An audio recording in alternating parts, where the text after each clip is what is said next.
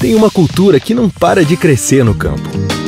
Ela torna todas as outras muito mais produtivas. É a cultura da inovação.